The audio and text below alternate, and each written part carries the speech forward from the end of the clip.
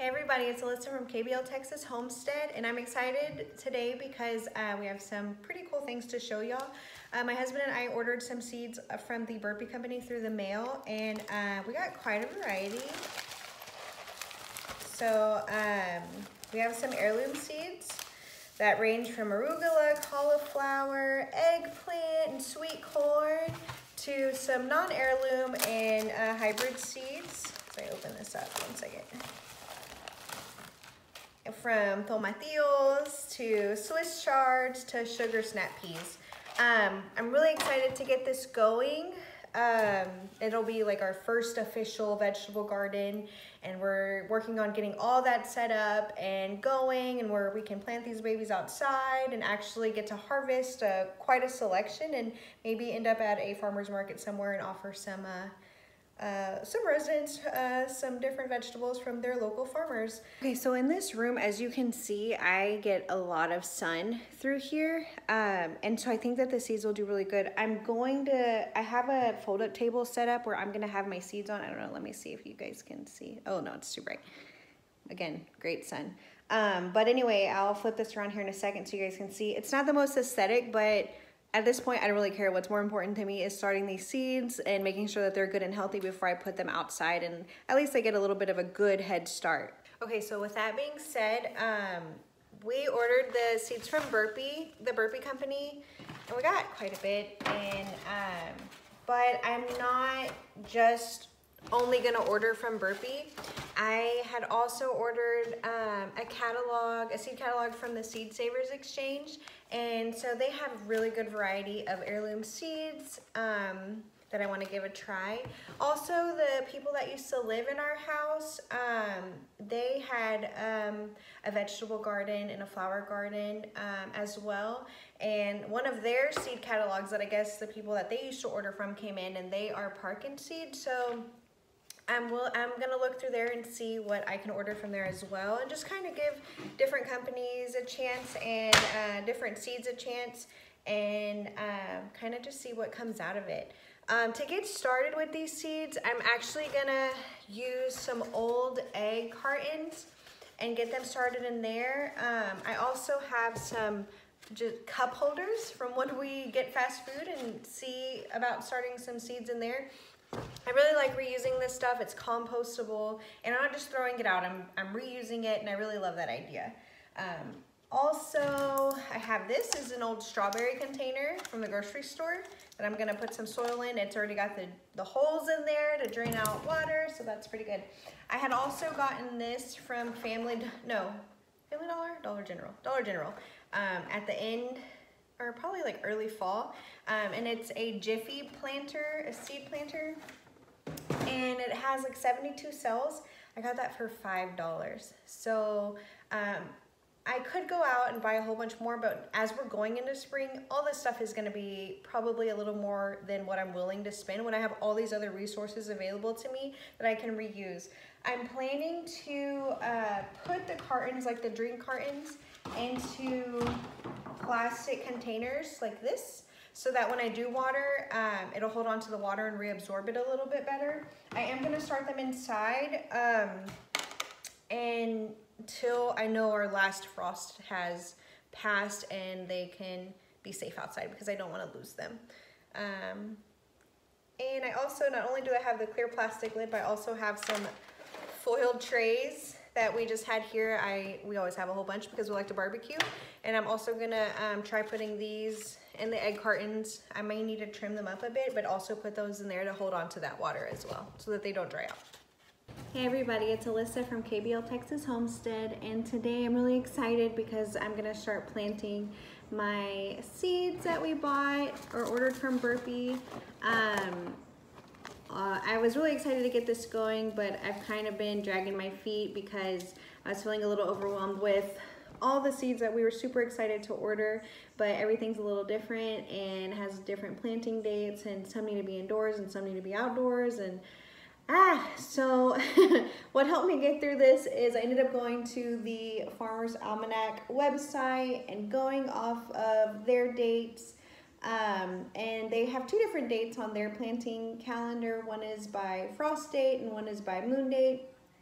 And um, I just kind of went down the list according to the seeds that we had and just kind of wrote down on a notebook what needed to be started indoors and what I could start outdoors that would get the best results for you know the work that we're going to be putting into this. Um, and so that really just helped me to get organized and see it on paper and separate what needs to be planted later, like next month or the following month, and what can be planted. Sorry, my rooster chicken are just running across the yard. Um, but what can be planted now and get going indoors in my cells and what can needs to be going outside and then what can wait. And so that way I just kind of have like this organization system that works best for me. And so far I feel a lot better about this whole situation. It is my first time to be officially doing this. Um, and so I already feel better about just kind of separating them into different categories.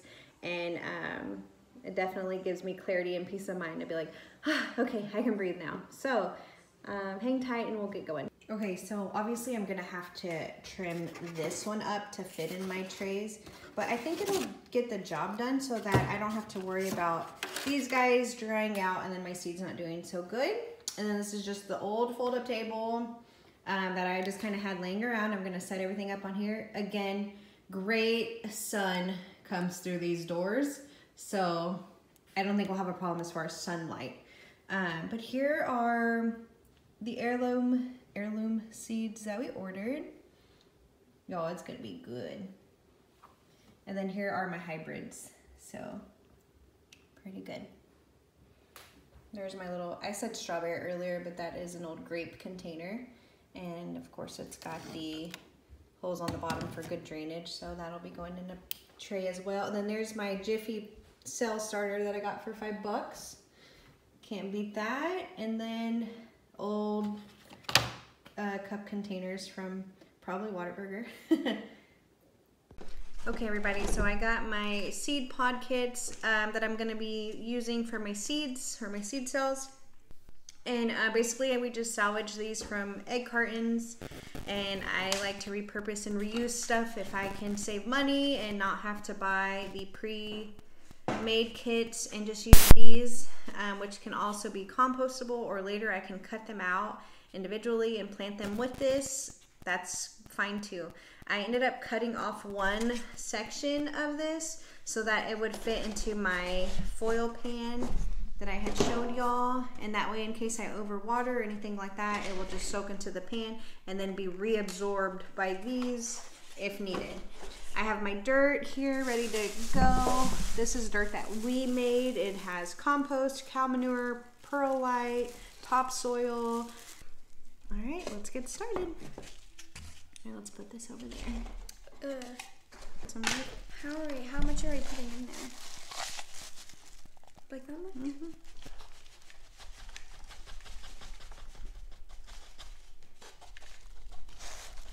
I'm just filling these up like halfway, or a little more than halfway to the tops of them, to the tops of the edges.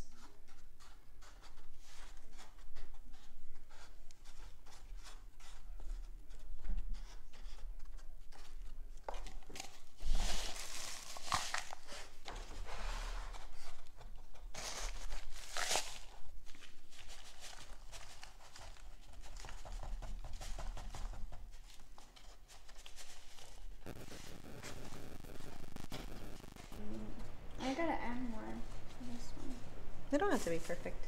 Mm-hmm. Oh yeah, it's really low.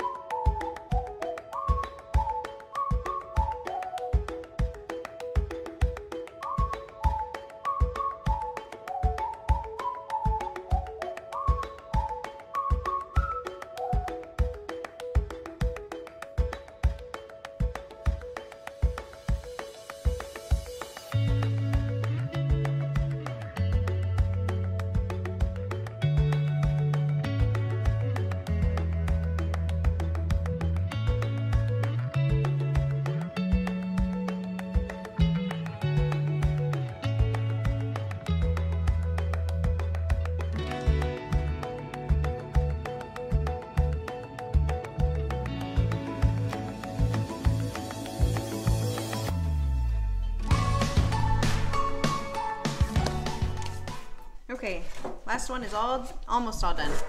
What I'm gonna be planting indoors is going to be lettuce, kale, arugula, tomatillos, celery, Swiss chard, lettuce, loose leaf blend, tomato, cauliflower, sweet pepper, and eggplant will be started in here along with uh, bell pepper, broccoli, cabbage. Did I put celery in here? Maybe I have celery. Yes, I did say celery. So, um, I have to go through. I have other seeds in another area that I need to go and get and make sure I get all those going as well. But to start, we're gonna go with these guys, and then outside, I'm gonna be planting. And and these, I'm actually gonna put them in a big pot, and they're to start outside, not indoors. So that'll be uh, sugar sugar snap peas, and two packages of carrots. So and we're gonna start with, each one of these cells holds 24 seeds. So we were kind of up in the air whether or not we should do 15 or 20, start with 15 or 20. But um, I think we're just gonna do 24 because that's what this cell or block holds. Cell block. Um, this pod holds and it just makes it more convenient to just say this is lettuce and this is broccoli and so on and so forth. So we'll just do that. Okay really quick um, to moisten our soil it was already moistened a little bit but I feel like it could use a little more. I'm just using a spray bottle because again it's small. These little pods are small and so they're not going to require a lot to be moistened. So I'm just going to spray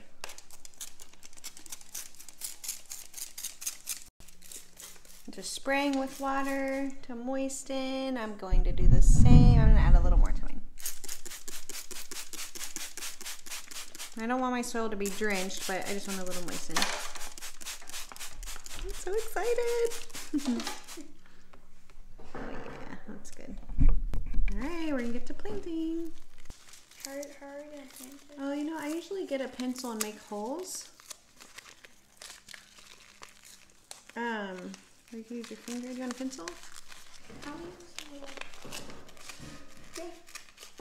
Give me one too. And then we'll just rinse the ends.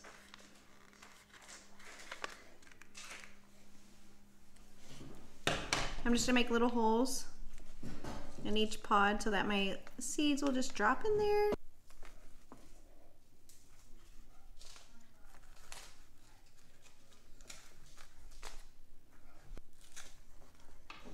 Just do two seeds in each hole, okay, Lauren? This thing's not opening. You want me to do it? No. I just like did this, which is really annoying. And my, yeah, you do it. My nails didn't even find like scratching it. Um, ugh, ugh, it's like one of my pet peeves. That's why I don't like this like type of. Okay. Ooh, these look like bananas. Oh, it's sweet banana. Oh, I should probably make the holes. All of them in the tray.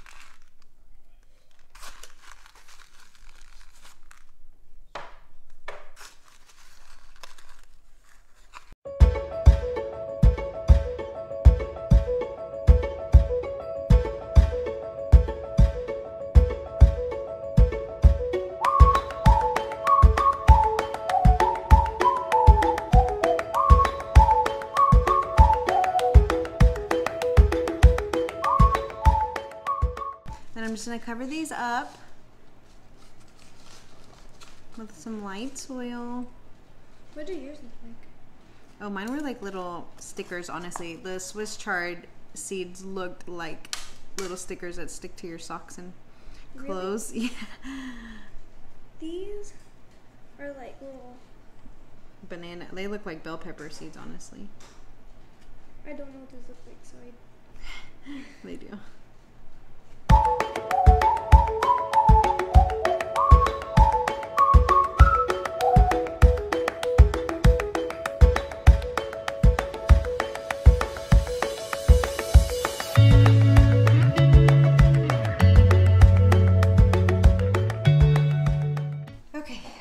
Have some little note cards that I'm gonna be writing and putting the note card in each pan so that I know what everything is. So thank you guys so much for watching my daughter and I get our seeds started for our spring garden. I hope that we showed you guys how simple it can be, how much fun it is, and how easy it is to get your garden started using things that are just around your house. You don't have to spend a lot of money besides just on the seeds, which aren't expensive, and that anybody can get their garden started and start growing their own food.